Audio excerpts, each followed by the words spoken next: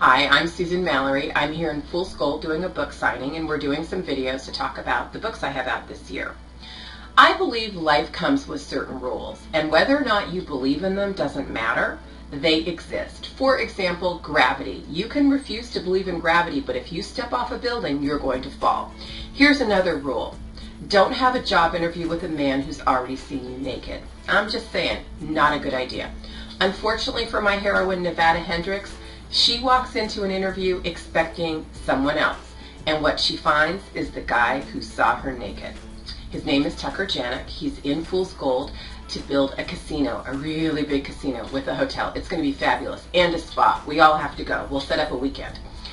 But for now, she's faced with not just a guy who saw her naked, but the first guy who saw her naked. Oh yeah, it's that guy. And he's back.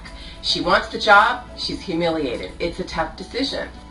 It's even more complicated than that. Not just that he saw her naked and it was her first time, he was in love with someone else. This amazing woman that, you know the woman you look at and think, please let my husband never see her because not a snowball's chance. That's the one he was in love with. Her name is Katerina. She's a famous sculptress.